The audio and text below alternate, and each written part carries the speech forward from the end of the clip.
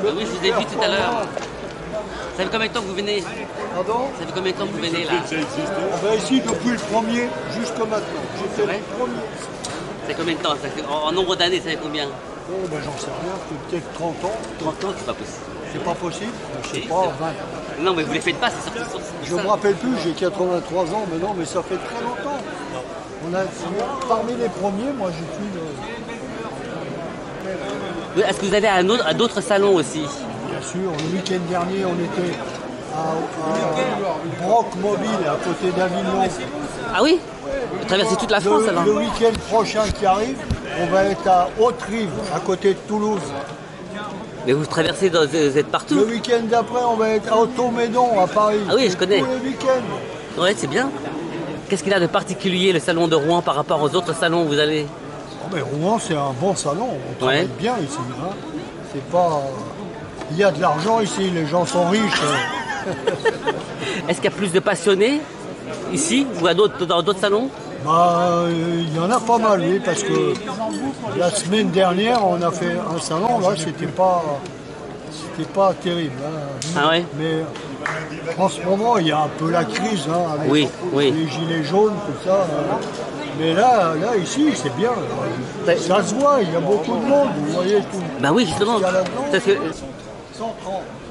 100, 130 euros. Alors, euh, René, c'est quoi C'est le nom de quelqu'un C'est vous mais je suis le père Ronel, le c'est bien. créateur de l'entreprise. Ah, c'est bien. Ronel. Et pourquoi le- la pièce détachée de collection, des choses comme ça C'est parce que ça vous intéresse euh Bah, parce que j'aimais beaucoup l'automobile.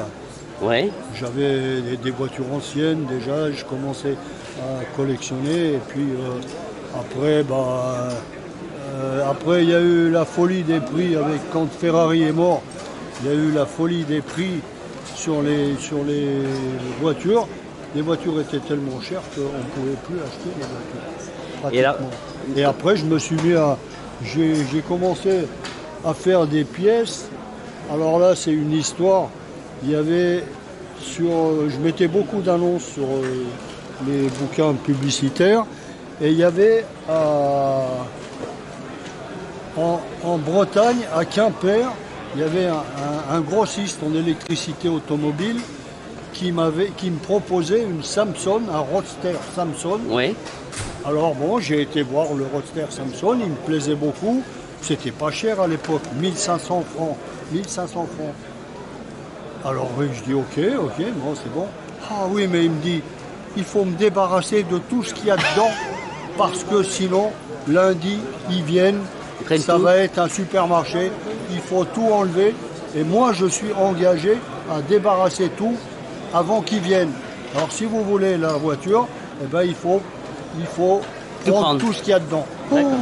Oh là là, j'ai dit mais c'est pas possible ça. Alors après j'ai téléphoné avec un Hollandais avec qui je travaillais, qui avait un camion avec remorque à étage et euh, je lui dis écoute euh, si tu veux, si tu veux, il y a tout un stock de, de pièces anciennes qu'il faut débarrasser, qu'il faut débarrasser à Quimper. Voilà, je lui ai expliqué le truc. Oh, il m'a dit oui, ça m'intéresse. J'arrive. Le lendemain, il m'a dit demain, j'arrive. Quand il est arrivé, alors il y en avait des pièces, même en dessous des, en dessous des trucs de. Il y avait des trucs partout, des, des trucs, si on avait ça maintenant, tout ça, mais ça vaudrait vraiment. Ah oui Ah, il y en avait pour beaucoup d'argent. Et c'est comme ça que vous avez commencé Moi, je me suis retrouvé avec tout ça.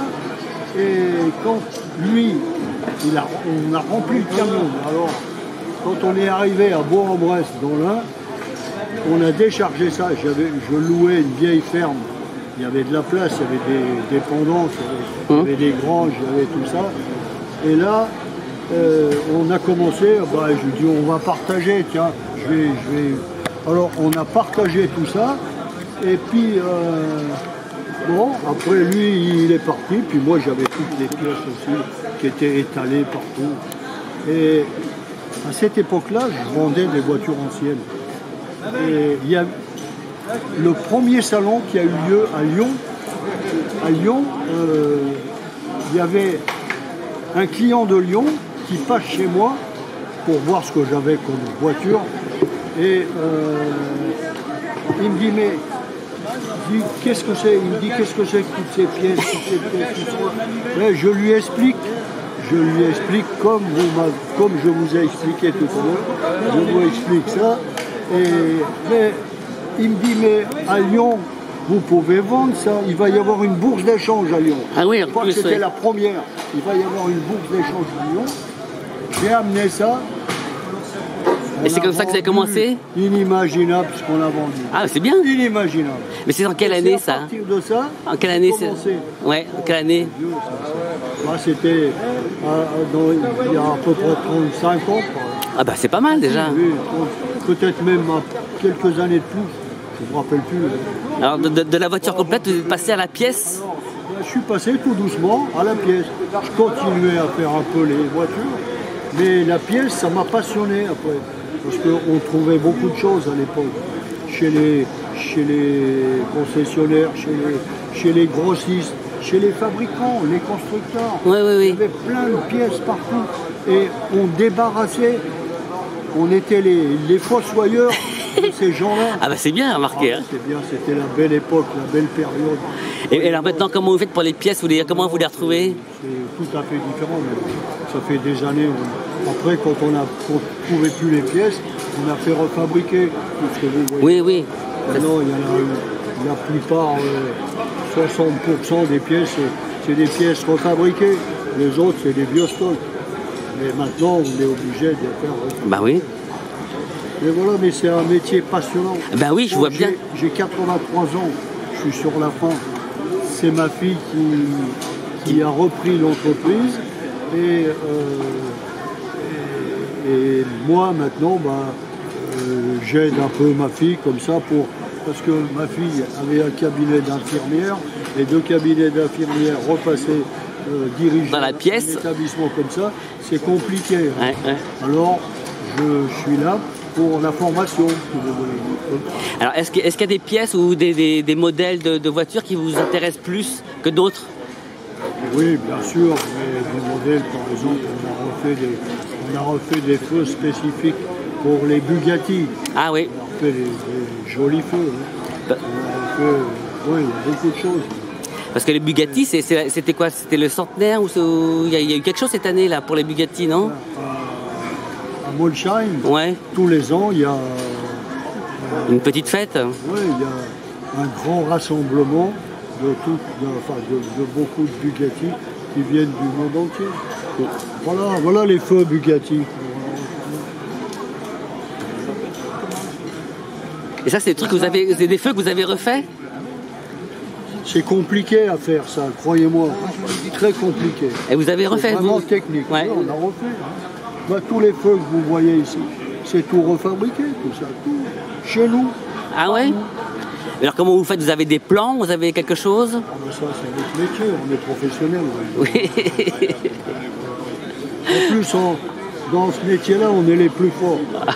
Parce qu'on on pratique des prix qui sont tout à fait abordables. Euh, les gens viennent facilement chez nous parce qu'ils trouvent chez nous Et- et- vraiment intéressant. Et, et les clients, ils sont devenus quoi Plus spécialisés, euh, plus précis dans ce qu'ils demandent Ou comment ça se passe? Ou c'est les mêmes clients qui de- j'ai- ils cherchent une pièce particulière? Ils cherchent des pièces pour leur voiture. Hein, mais de plus en plus, on, on a fait des choses qui sont, qui sont beaucoup mieux faites, beaucoup plus, beaucoup plus précises, beaucoup plus. Ouais.